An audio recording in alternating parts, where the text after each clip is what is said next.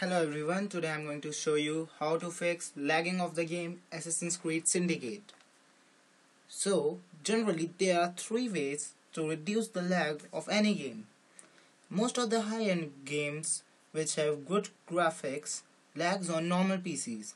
So the three ways I'm gonna tell you will definitely work for all the PCs which have normal specifications. So the first step is reducing the video settings of the game. All you have to do is just go to the game, go to the option menu and go to video settings and reduce everything to low including the player details, environment quality and resolution of the game, everything to low. Then you try whenever you try to run the game, it will definitely reduce the lag. Second step is installing a game booster on your PC. So to download a game booster, type download Razer Game Booster. I recommend you to download Razer Cortex Game Booster. It is the best one available. After you go to the link, download, click on download now.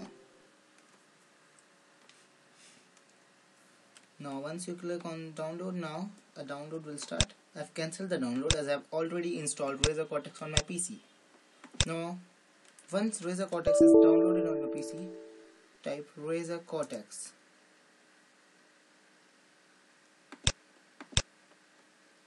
It will take some time to open.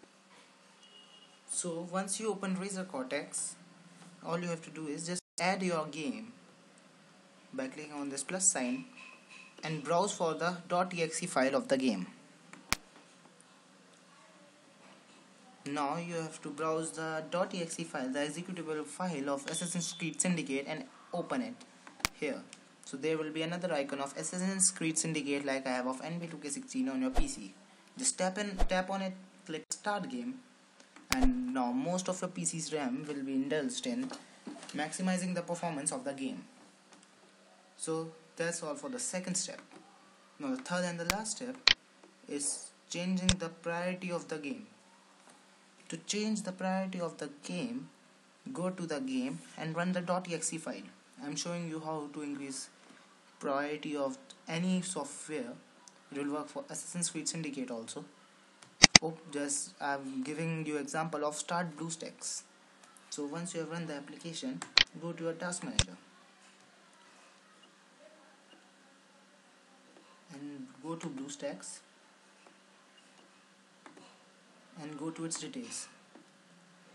You have to go to Assassin's Creed Syndicate and go to its details and it will select its thing its file and you have to set its priority to high and change the priority. Now again this helps in maximizing the performance of the game as again most of your RAM will participate in maximizing the performance of the game. So that's all these are the three steps you have to follow to fix lag of all the high-end games including Assassin's Creed Syndicate. Thank you for watching this video. If you like this video, please hit the like button below and please do subscribe for more. Also watch my other videos related to other PC problems and other fixes of the game.